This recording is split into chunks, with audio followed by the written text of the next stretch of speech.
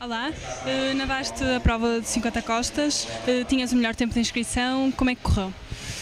No fundo acho que correu bem, tendo em conta que não, nem sequer ainda estou em forma e tive esta feita há pouco tempo, deu-me pouco tempo de descanso, mas o tempo foi razoável. Uh, agora há que continuar a, tra a, trabalhar, não é? treinar para nos nacionais aí sim estar em forma e conseguir obter uns, umas boas marcas. Como é que descreves o momento que estás a ver atual na, na, nesta época?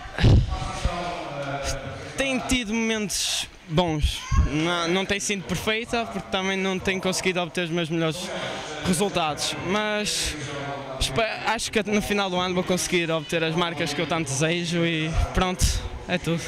A participação no meeting, como é que está a correr até agora? Tem corrido bem, mas como eu já disse, não tô, não tem, a maior parte dos atletas não estão em forma, mas acho que as marcas têm sido boas e as minhas também. Estou satisfeito. Objetivos para a época? Para já é conseguir obter as melhores marcas pessoais.